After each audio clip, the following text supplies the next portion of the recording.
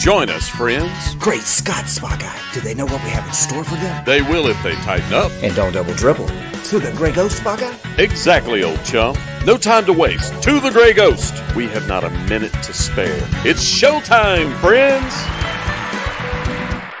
All right, all right, all right, all right. It is the Spa Guy, and it is Globetrotting with Trey. And we are not wishing a cotton was a monkey but we know that there's people that are.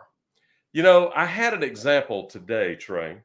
What is that, Spot I haven't told you about yet, but this, you know how, and, and well, the way I've tried to break this down, you know, we've talked about what Wishing Cotton was a monkey mm-hmm. was 49 episodes ago, I think. Yeah, something like that. And um, so just the basics of it, but I've tried to break it down and make it simpler to state when somebody asks you what wigwam is. And basically, where you pretend something is different than it really is, or you go through the motions. In this particular case, you're going through the motions of something like you're accomplishing something, mm-hmm. but you're really not accomplishing anything. And it really, really bothers me. And uh, what it was is Lori and I, you've experienced this before. Lori and I went to Costco. Um, we've always had a Sam's Club around here They've recently built a Costco.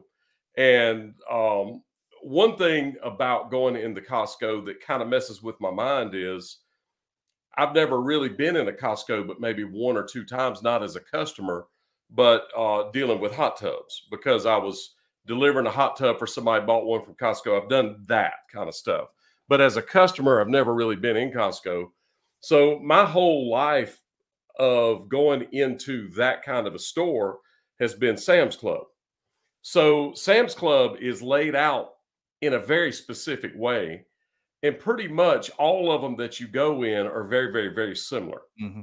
So when you go into a Costco, it's like Sam's Club. It's got the same stuff in it, but it's all mixed up.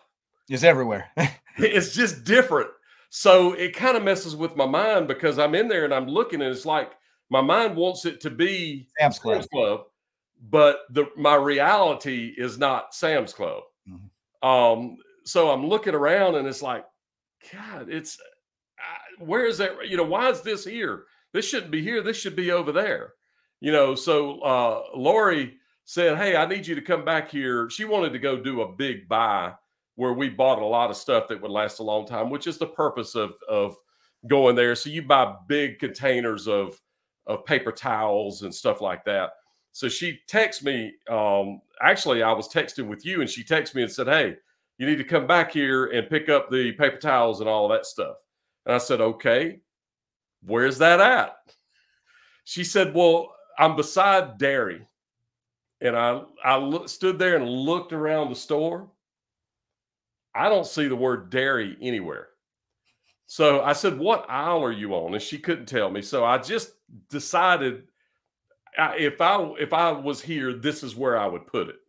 So I started heading back that way, and I finally found her.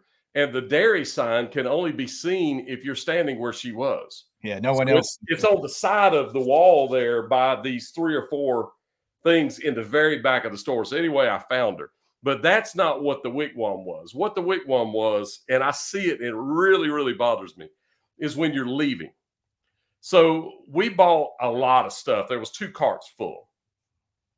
So we're standing there trying to get out where this person is pretending to look at the receipt and look at the stuff in these two carts, all these items, like they're pretending like they're they're going to find something. My question to them would be did you eh, how many times in a day do you find something in a cart that's not on a receipt?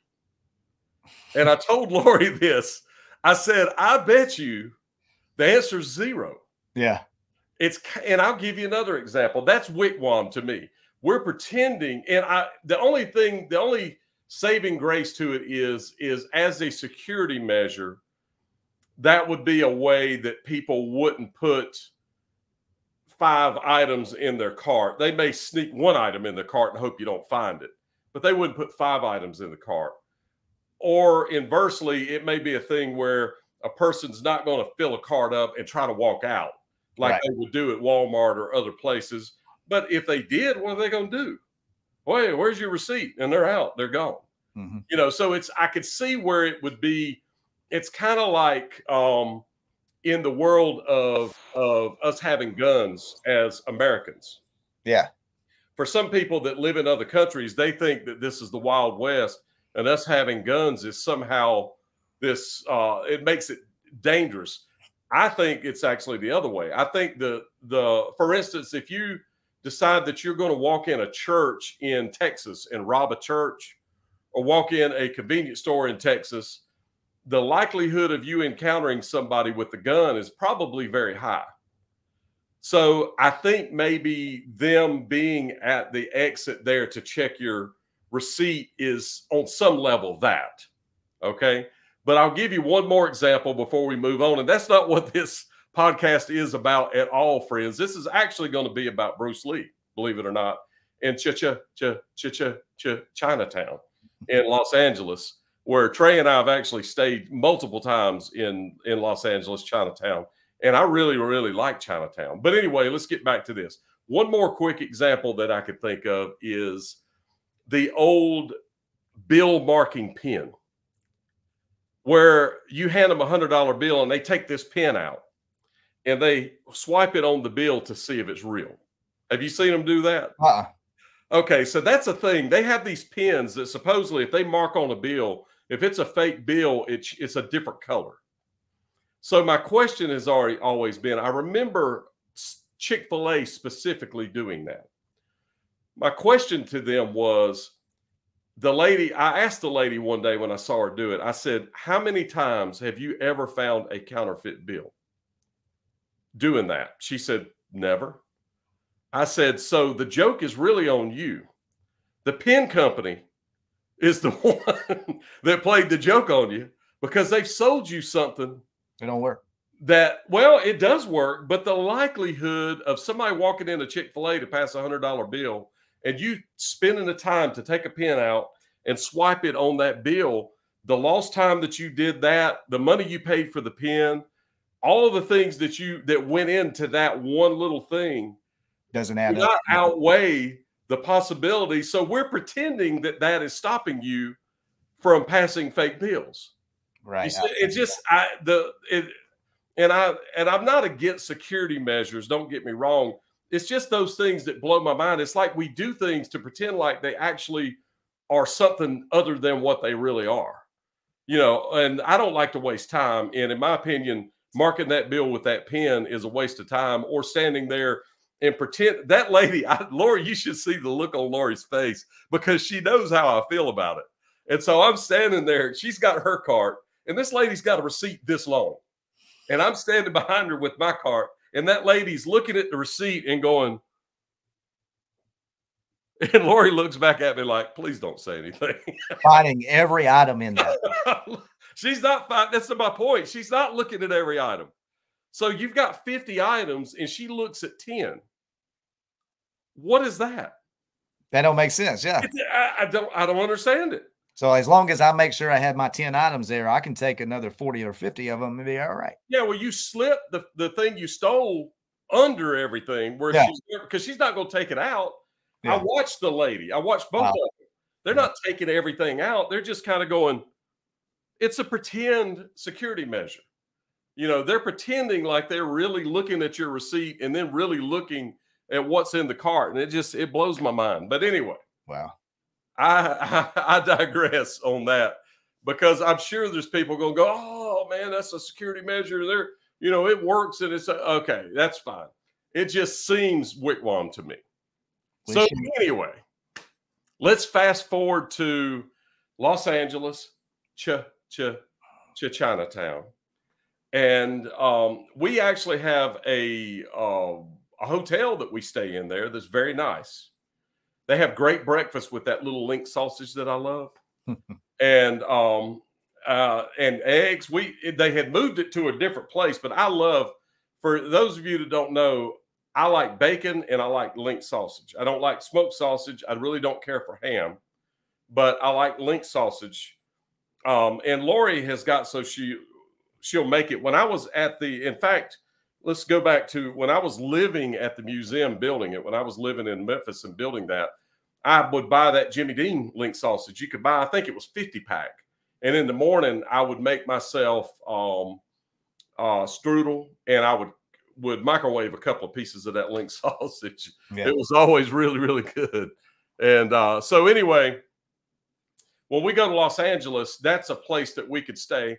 And in my mind, I kind of thought that Chinatown would be dangerous because it's kind of the way that it's portrayed in the movies, Chan movies, and all that. In fact, really, just a block or a block and a half from our hotel is where a scene from a Jackie Chan movie with Chris Tucker is shot yeah, in, a, in, a, Chinese restaurant, Rush Hour Two, wasn't it? Rush Hour Two, yeah. Okay. And uh, so I've actually put that in a video, which that's also you could see from where that restaurant is that's in the movie. If you look through, you could see the Bruce Lee statue. Right. Yeah. awesome Bruce Lee statue of him, right, Billy? Way larger than Bruce Lee. And really? it looks like him. No, like it. They do. But it does look like him. Yeah. Great job in his in his uh, uh um uh karate pose. Yeah, he's ripped in that thing, boy. and the cool thing is, like, uh, if you go there during the day, uh, they actually some of those little businesses around it actually have Bruce Lee things they sold. I think you bought a, uh, a thousand dollar bill. I bought a, a million dollar bill. Million dollar bill. Bruce Lee's picture on it. Bruce Lee's picture. I, I bought. I looked at it and went, Bruce Lee on a million dollar bill. I'll take one of those. Did right. I put it in my cabinet? Probably did. It was really cool. It had his image. It was. It was. I don't think I brought it down here yet. I wish I had it. I would. I would show it um, but the uh, and I may run go get it. I, what did what did I do with it? Did I bring it down here? Dang on! I wish I'd have thought of that before we we started filming. But uh, anyway, I, I bet you I have a picture of it. So um, anyway, I'm gonna I'm gonna search for for Chinatown.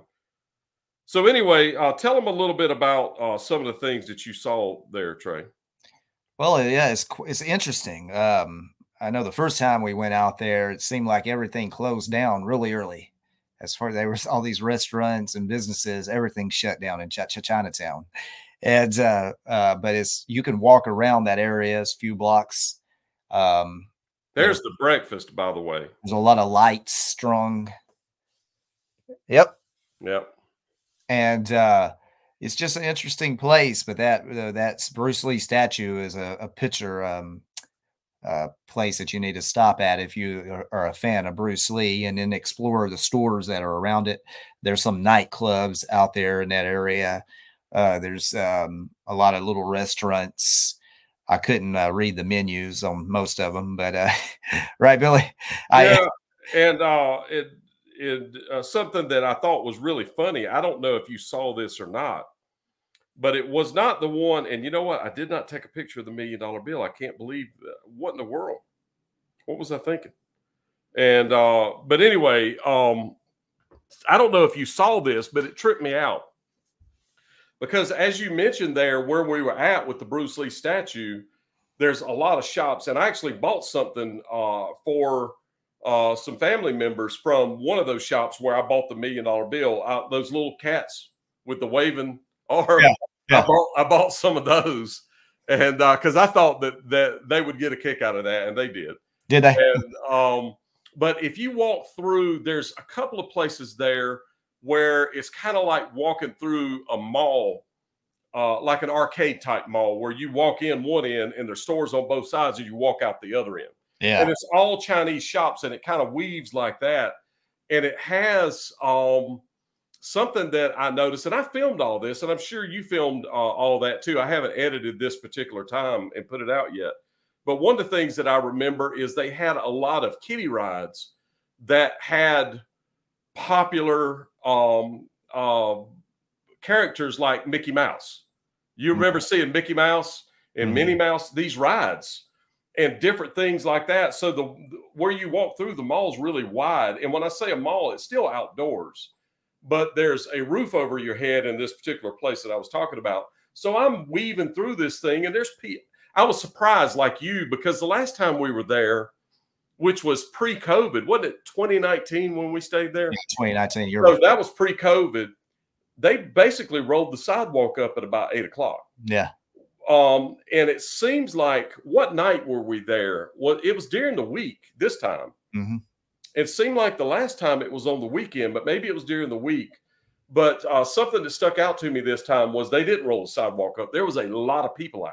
Yeah. But it may be because of COVID, everybody was tired of being out. Now everybody goes out. You know, they got tired of being stuck. Yeah, the restaurants were open this time. I I, I a lot of restaurants. I There didn't was a- stop in any. I don't know if you stopped in any, Billy. I didn't. Well, that's what I wanted to tell you about. This is what tripped me out. I, I did not expect to see this, and I don't know if you saw it or not.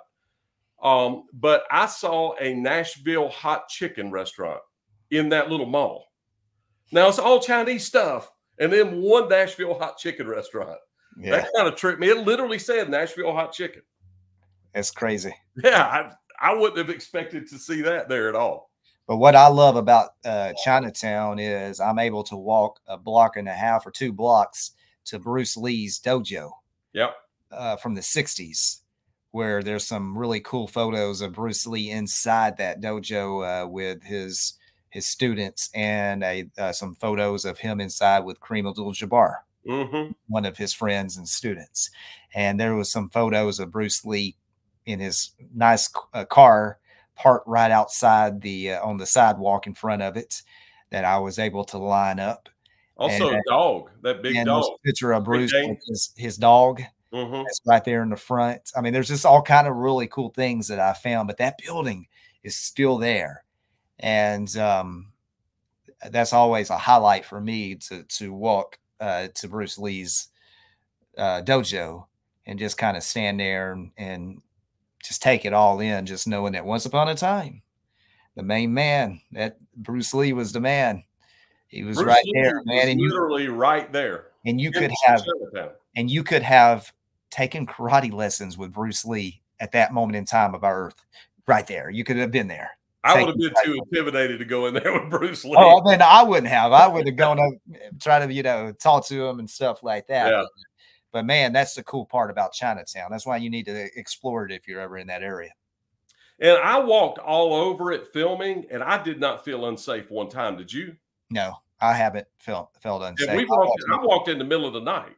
yeah, I walked all over. The, it, it was both times we did that at night. Yeah. I walked over. There's a school out there.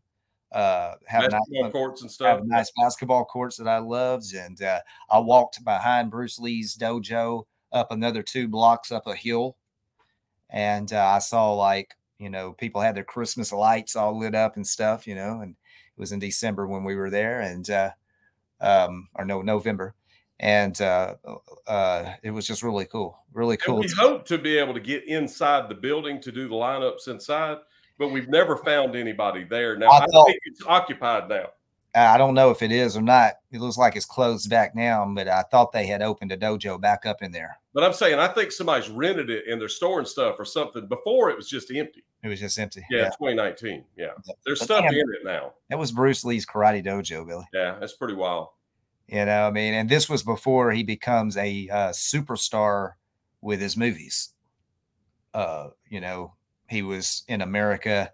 He was on um, the Green Hornets at this time during this time period, and he was trying to become more after the Green Hornet, and he Mhm. was just getting shot down here in America, you know, because of you know uh, of his who he was, you know, his ordination, his Chinese being Chinese and and stuff like that. You know, they didn't think he could be a leading man, and boy, did he prove them wrong, didn't he? Mhm. He proved him wrong. Now, a little interesting detail, and I correct me if I'm wrong about this, but I think that I'm I'm pretty sure that I'm right. Is he made a cameo in Cannonball Run as the Green Hornet? I believe it's him in the car in the Green Hornet in the movie Cannonball Run. I don't know. Are you are you familiar with the movie? I'm not. Oh man, you you got to go watch Cannonball Run. It's got uh, uh, Dean Martin and Sammy Davis Jr. as priests driving a Ferrari in the Cannonball Run. And uh, let me look real quick. Uh, I'm pretty sure that I'm that I'm right about that. That he is in Cannonball Run. Yeah, that's 1984. Jackie Chan. So is Jackie Chan playing him? Okay, there you go. Hey, Bruce died in in the seventies. Uh, okay, well there you go. So so that tells you my knowledge of Bruce Lee, but that also tells you that they were doing that was a cameo. That was a shout out to Bruce Lee by Jackie Chan in that movie. Well, yeah, so that, that's a good point. I'm glad you brought Jackie Chan up. So, so when Bruce Lee passes away, I believe in 1972, um, or it was 73, July 20th, 1973. Mm-hmm. Bruce Lee, untimely death. He's 32 years old, Spa Guy. Mm-hmm. And um, he had just filmed um, our Enter the Dragon was about to be released, mm-hmm. which is the movie that made him a bonus fide superstar. Mm-hmm. That that Enter the Dragon movie, um, really awesome movie. But so when Bruce Lee died in 1973, it left it, it just left a bad feeling to the movie world because they needed a needed Bruce Lee here was this guy that everybody now loved, and now he's gone, and there's no more movies. So what did they do over there? They start. They had actors play like they were Bruce Lee, and they had all these um, movies. Which there's a documentary I stumbled on the other day. I want to watch where they fa- track down these actors. There's some guys like me and you. They mm-hmm. made a film where they tracked down these actors and got interviews with them and kind of took them back about how this happened and stuff like that. So there's like all these movies, like 30, 40, 50 movies made, made, made. But then Jackie Chan came along and Jackie Chan became, took over Bruce Lee's part when mm-hmm. Bruce Lee had started. And Jackie Chan did it in a way where he put comedy into martial arts. Mm-hmm. And then I guess us Americans love that. Oh, I love those Rush Hour. Oh, hey, I was a kid, man. That Rush Hour, Jackie mm-hmm. Chan and and Tucker, yeah, man, they were mm-hmm. awesome. And Jackie Chan was so good, mm-hmm. so fast, so fast, and it's great to know he did all of his stunts. Mm-hmm. This guy did all of his stunts, but but it was Bruce Lee died in '73. Jackie Chan in the '80s takes over. But in between Bruce Lee and Jackie Chan was all these people trying to act like they were Bruce Lee in movies. They had black Bruce Lees, they had fat Bruce Lees. They had actors that really looked just like Bruce Lee. There was one actor that really looked like Bruce Lee and it stuff. sounds like ETAs to me, Elvis tribute artists. But go ahead. exactly. It, hey, that's a good analogy, Yeah. But man, uh, you know, I've watched some of these movies because I'm a big Bruce Lee fan, man. And there's one movie where they took um, Game of Death was a Game of Death. It was the movie where Bruce Lee fights Kareem Abdul-Jabbar. Hmm. Okay, he was filming this movie when he died. He didn't get to finish the movie. That's the so they took footage from this movie and made a movie with a guy that was playing Bruce Lee. So they would do shots like over his shoulder, and then they would splice in real shots from the movie of really Bruce, and then they would need another shot that Bruce didn't film, and it was another guy that was Bruce, and then one shot was a wide shot, and they literally printed a face of Bruce Lee on a cardboard and put it on the actor in a wow. shot. And you can tell it is. And then it's back to really Bruce Lee kicking yeah. his butt. You know, it's terrible, Billy. It's terrible because of the editing. And so now they could do deep fake stuff and have Bruce Lee really in a movie. Yeah. Well, it's it's when he wore that famous yellow suit. Yeah. That's the movie that he was filming when he died. Wow. Uh, uh, so I, I'm just fascinated by just like Elvis and Pistol Pete and people that I really admire and enjoy learning their life stories. I, I'm, I'm fascinated as well by Bruce Lee, of course, Chuck Norris, and I think I here's a uh, Chuck Norris autograph that I have. My first one it says yeah. A friend, Chuck Norris. But right here, I think I have uh, actually now that I'm looking at it, I have this Bruce Lee.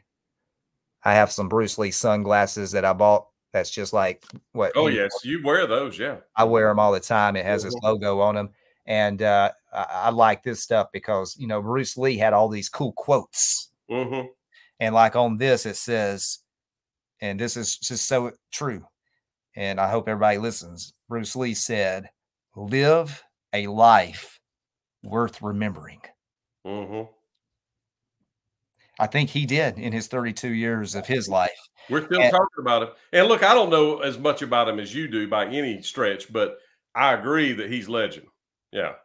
Oh, Bruce Lee was a badass. Yeah. And the thing is, why was he like that? He was passionate. He Mhm. loved he loved his martial arts. He loved uh uh being in shape. And uh, you know, he was he and Chuck Norris were very close. Chuck Norris became an actor because of Bruce. Chuck was competing in a tournament in New York City, one of his karate tournaments, and Bruce Lee came to the match uh, there in Madison Square Garden, and Chuck won. And after the match, he and Chuck walked back to the hotel, and they get on the elevator and they get off on Chuck's um, uh, uh, floor. And Chuck Norris said that Bruce Lee and I probably got off that elevator about 12 that night. And he and I did a workout there in the hallway until about six or seven in that morning. They talked, just had a good time. The time got away from them. Next thing they knew, it was seven in the morning. Man, how incredible is that? You know, and then and then the thing is, Chuck gets a call one day, Spa Guy, and it's Bruce. And he says, Hey, Chuck. He says, uh, I'm doing this movie over here in, in um, at the Coliseum in Rome. And I've got a part for you that I think that would be perfect for you. And uh, Chuck Chuck said, Well, who wins? And Bruce said, I win. I'm the star of this movie.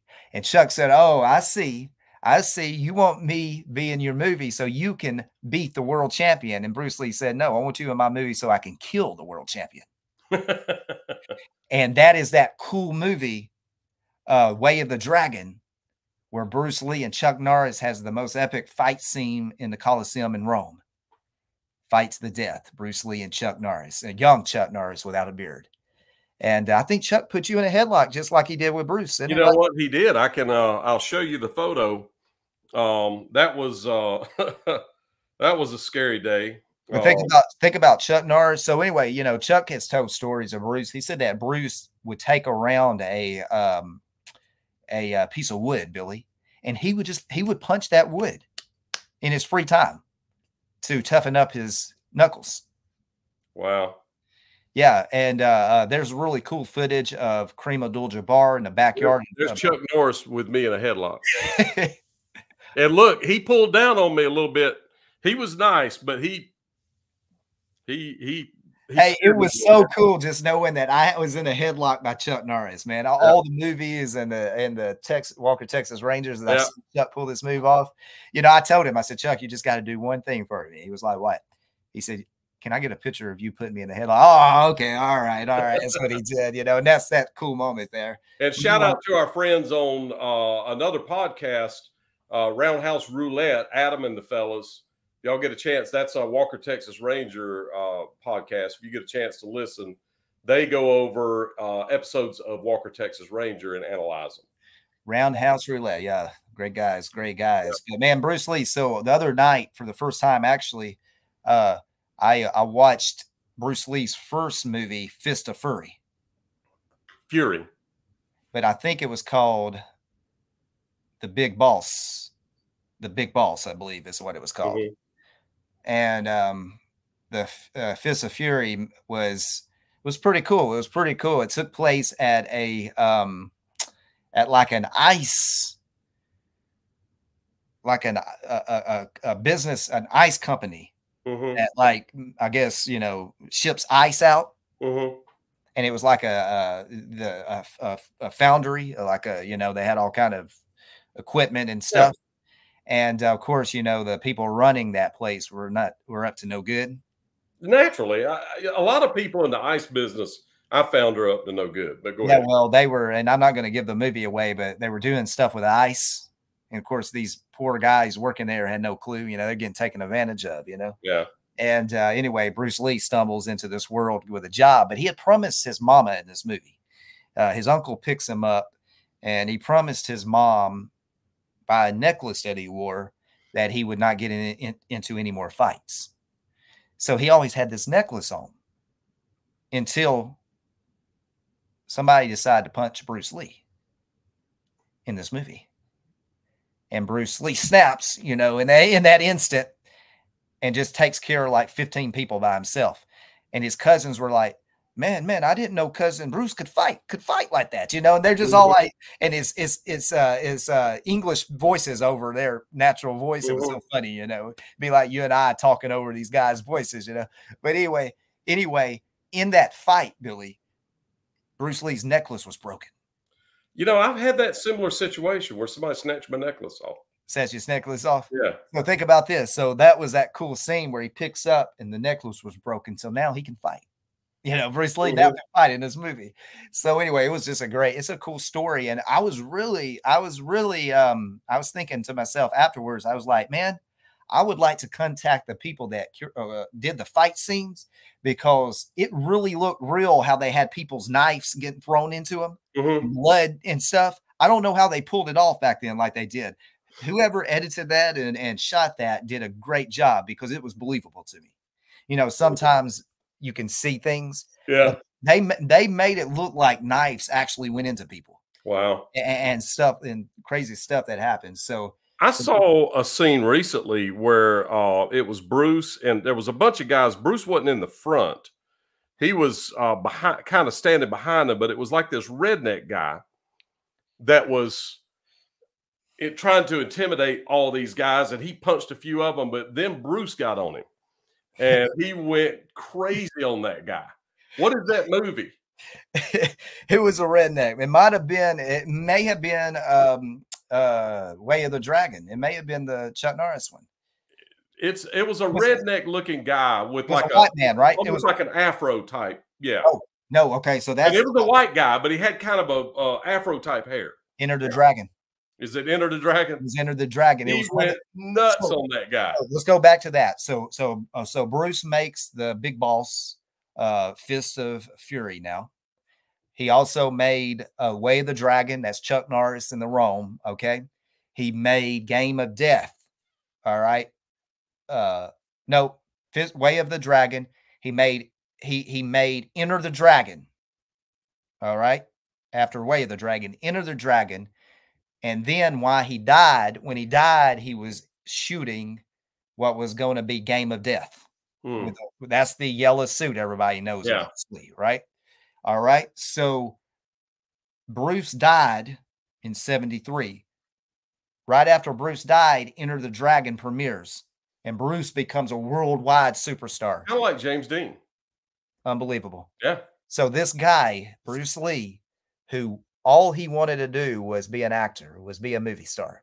And he worked his butt off just like he did with martial arts to achieve what he had did. And he took chances. He didn't let people tell him that he couldn't do something.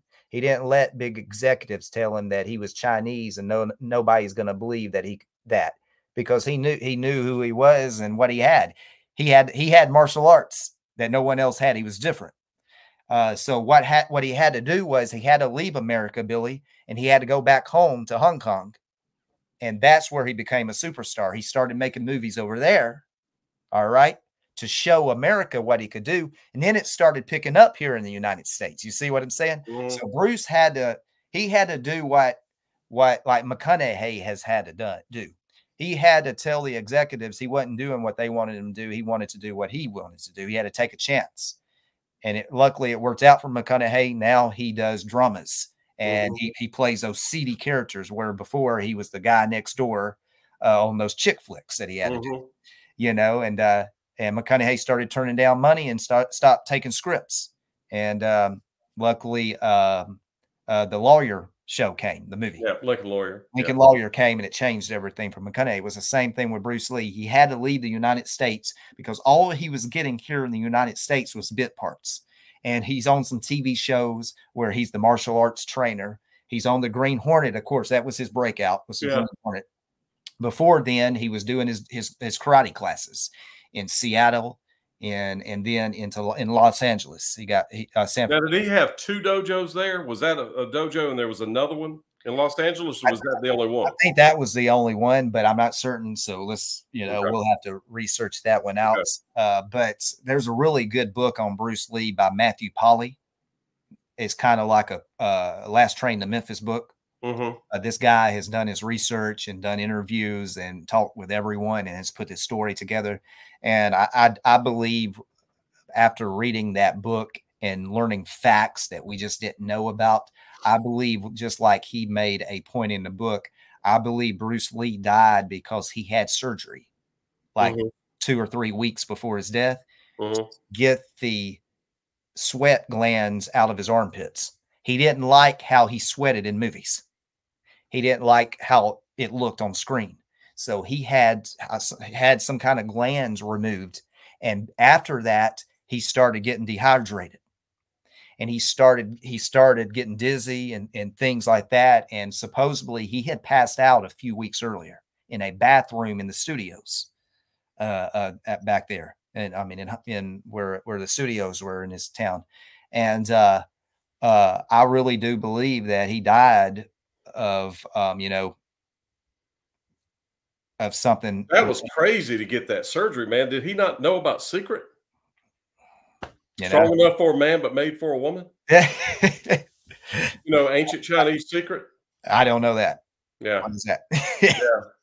it's, that's a big, that's a mixture of several things from the seventies. But never mind. Uh, I digress. Go ahead. All right. Well, I wanted to do something here because Well, I wanted to bring up another little point about Chinatown, which is it blew my mind that we didn't notice it last time we were there, uh, and that was it's right beside Dodger Stadium.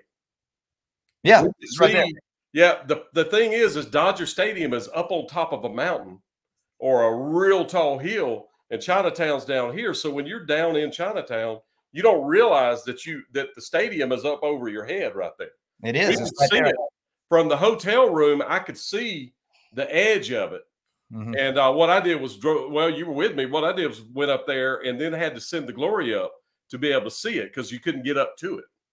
So I wanted to do something, Billy. I wanted to. I, I'm fascinated by some of the quotes that he said during his lifetime. Mm-hmm. and I wanted I just wanted to read some of them. You know, I read the one about live a life worth remembering. I thought that was pretty cool. But uh, there's a few other things like Bruce Lee said once says don't feel don't fear failure. Not failure, but low aim is the crime. In great attempts, it is glorious even to fail. That's what Bruce Lee said. I like this one right here, Spa Guy. Mistakes are always forgivable if one has the courage to admit them. Mm-hmm. All right. And the thing about failure is there's nobody that has done anything significant that bats a Hasn't thousand. Hasn't Same. Hey, I like this one. I fear not the man who has practiced 10,000 kicks once, but I fear the man who has practiced one kick 10,000 times. That's it. That's what he did. That's Bruce Lee. That's Bruce Lee, right? Mhm. Bruce Lee said, Pain will leave you once it has finished teaching you. Now, read that again. Pain will leave you once it has finished teaching you. Um, he said, I'm not in this world to live up to your expectations, and you're not in this world to live up to mine. Hmm, I like that one. That's interesting. Mhm. Um, it's just amazing that the the you know his favorite one is be water, my friend. He was Yeah. He, like used water as an analogy about life and how water is just an endless stream. Mhm. Yeah, it's really fascinating. You can watch that. Uh, uh, there's a interview of him on YouTube uh, saying this. Uh, Bruce Lee, Lee also said, "Knowing is not enough. We must apply. Willing is not enough. We must do." So Mhm. that's that's some powerful words right there. Bruce Lee said, "Don't speak negatively about yourself, even as a joke. Your body doesn't know the difference. Words are energy and cast spells. That that's why it's called spelling. Change the way you speak about yourself, and you can change your life. What you're not changing, you're also choosing.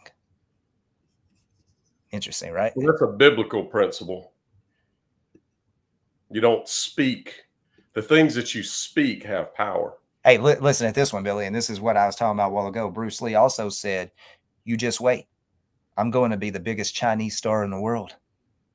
I like that one. He made that happen, didn't he? He did. Let's see. Bruce Lee said, Do not pray for an easy life, pray for the strength to endure a difficult one. Mhm. Bruce Lee also said, The more that we value things, the less we value ourselves. Now, the Elvis tie with Bruce and uh, Chuck is Kang Rhee. Yeah, and Bruce Lee was an Elvis fan. Uh, there's a picture of Bruce Lee with an Elvis uh, record. Mm-hmm. So, Elvis never met Bruce, though. so think about that. Bruce Lee was like you and I. He he was a fan of, uh, of Elvis, Mhm. and you know Elvis had to be a fan of Bruce Yeah, of course. Yeah. because of that. Bruce Lee said the successful warrior is the average man with loser-like focus. Laser like focus. That is a. So Yeah. let me read that one, guys. yeah, Uh, 'cause I know some people with loser like Yeah. focus. Yeah, I just I just talked to a few people there, but the it's not you losers. It's the successful warrior is the average man with laser like focus, and uh, I need laser like eyes to make sure I can see loser and laser differently. You know, uh, yeah, loser like focus. that'll be used against me. Oh, hey, there's some people out there with loser like focus. They're the ones that'll use that against me. um, hey, here's a good one, Spa Guy. From Bruce Lee's mouth. He said, "Showing golf is the fool's idea of glory."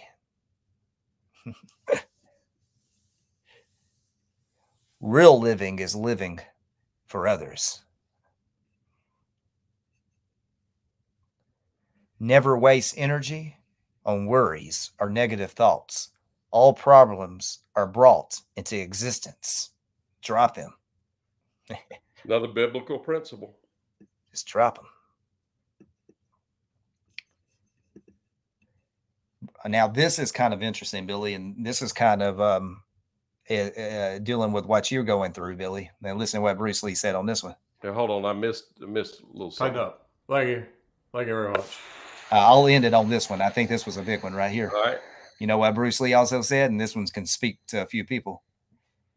If you don't want to slip up tomorrow, speak the truth today. That's it. You Because if you say the truth every time, you don't have to remember what you said. You're right about that. And in the future, it doesn't, you know, you know, make you slip up. That's right. You ended on that one, Spa Guy. Yeah, well, we still got uh, a couple of minutes, um, but that's uh, very, very cool stuff. He was a fascinating person for sure. Yeah, he was, Um, and you know, and just you got to think about that because of Bruce Lee. We have Chuck Norris, hmm uh, we have Jackie Chan, we have uh, people, uh, uh, Jean Claude Van Damme. You have, you know, people like that, uh, Steven Seagal that make Oh, those yeah. type of movies that we enjoyed. I mean, I, I love those type of movies. hmm I feel like I'm a martial artist just because I've watched so much Bruce Lee and Chuck Norris, hmm you know, and and uh, studied the And stuff. you actually have a black belt from Chuck Norris. that bad boy right there. So I'm going to say that Trey is a black belt right there. Look, from Grandmaster Chuck Norris, Trey has a black belt. And this is a special edition. This is number 21 of 25.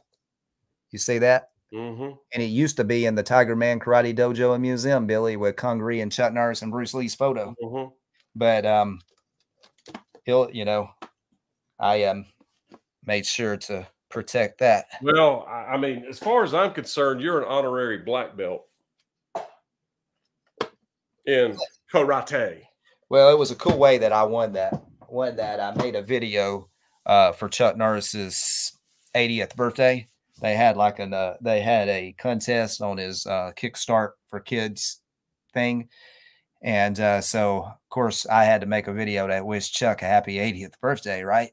So my video, of course, is you know how I I do. You guys watch my shows and stuff.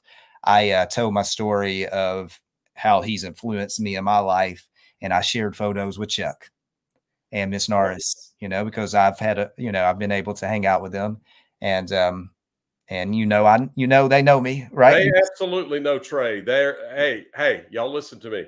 I promise you, when Trey walked up and talked to them, they knew who he was. Miss Norris, you should have seen her light up when she was- saw, when she saw you. Yeah, and I hadn't seen them in a few years, but uh, um, I And I was, and I filmed you hanging out with Chuck and Gena. I just really, I really. I'm just telling you, uh, they're they're great people. They're great Yep. people. They live. They're Christians, and they uh, Chuck Norris is he's a better person in real life than he is on his movies and TV shows, if you can even believe that. Yeah. Because he's so cool on the shows, you know. And of course, the shows and movies are what made me know him.